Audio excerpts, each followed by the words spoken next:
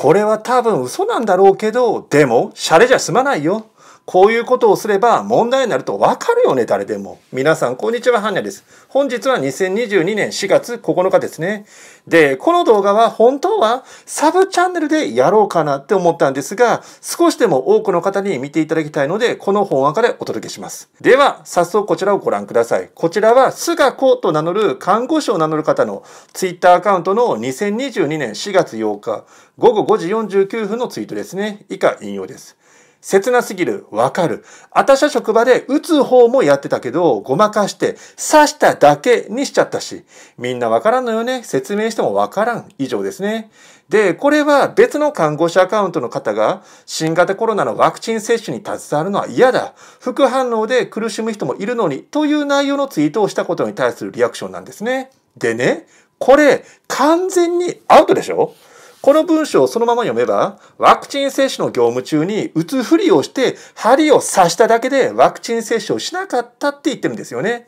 これ最悪ですよ。いやね、私は新型コロナワクチンについては、4回目はまだよくわかりませんが、3回目まではした方がいいのかなってなんとなく思ってますよ。しかしながら、ワクチンを打ちたくないって人に対して、もちろん質問されたら、接種した方がいいと思うよと答えますが、打ちたくない人を別に説得しようとか思わないんですよ。最終的に自己責任ですから、お互い打ちたい人は打てばいいし、打ちたくない人は打たなければいいということですよね。しかしこの人は、打ちたいと思ってワクチン接種をしに来た人に対して、空注射をしただけって言ってるんですよね。お前の判断を勝手に押し付けるなと。でね、勘違いしてる人がいるかもしれないんですが、基本的に医師の治療行為って傷害罪に該当するんですよ。注射とかメスとかね。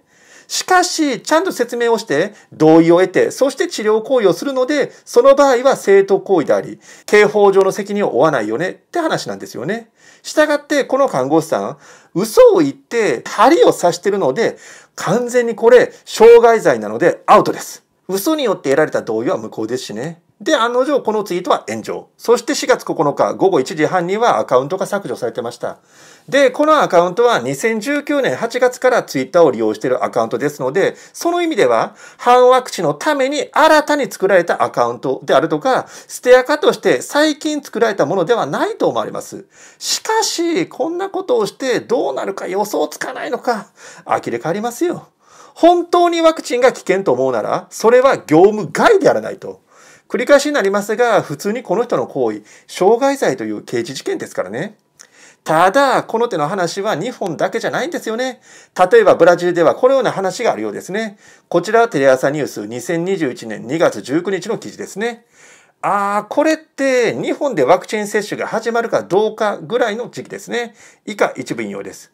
新型コロナウイルスの感染者数が1000万人を超えたブラジルで、ワクチンを打ったように見せかけて打たない、空打ちと呼ばれる事例が相次いでいるということです。16日のブラジルの大手紙、グローボによりますと、リオデジャネイロ州で看護師が94歳の女性に対して空の注射器を刺したということです。また、ワクチンの入った注射器を刺しながら、ワクチンを投与しなかったというケースもあったということです。州の検察官は医療関係者がワクチンを打たず、横領した可能性について捜査しているということです。同様の事例がブラジル各州で相次いでいて、実際には注射されてないことに気づいた家族の指摘で発覚したケースもあったということです。以上ですね。で、94歳の女性のケースは別にして、どうもこれは当時はワクチンが貴重だったからワクチンを打ったことにして、そのワクチンを別の人に打つとか、そういう金儲けのパターンでやってるみたいですね。